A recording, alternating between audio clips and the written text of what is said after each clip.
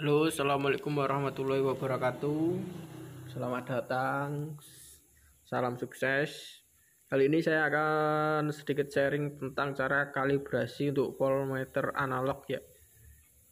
Ini mereknya INSCOM.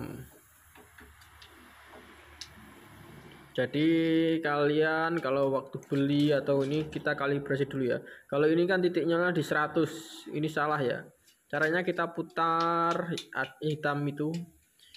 Nah itu posisinya harus di nol ya jangan di angka yang kedua ini 100 itu jangan. Jadi posisinya harus di nol. Kita tinggal putar yang bintik hitam itu ya. Untuk memutarnya diusahakan pakai taspen atau obeng karena kalau pakai tangan ini kurang presisi ya atau susah. Kita putar pakai taspen Nah, kita posisikan pas di 0. Jangan kurang, jangan lebih ya. Biar kita nanti membacanya mudah. Nah.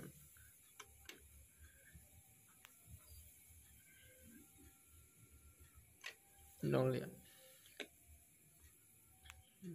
Cuma itu saja caranya. Setelah dirasa di nol coba kita ini untuk MCB nya dari PLN udah on yang bawah kita on kan nah dia naik.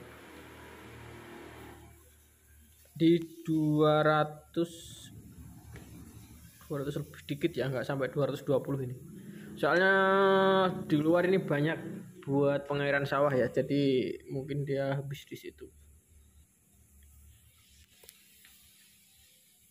udah cuma itu saja untuk cara kalibrasinya biar teman-teman semua yang belum mengerti bisa tahu ya.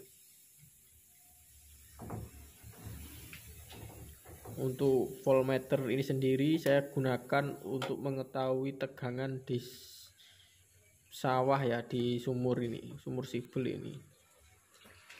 Untuk pengairan sawah ya. Ini saya pakai listrik 5500 ini dengan kedalaman 97 meter. Ini buat mengetahui ya. Soalnya dulu kan pakai genset sekarang kita pakai listrik. Oke sekian semoga bermanfaat. Terima kasih. Wassalamualaikum warahmatullahi wabarakatuh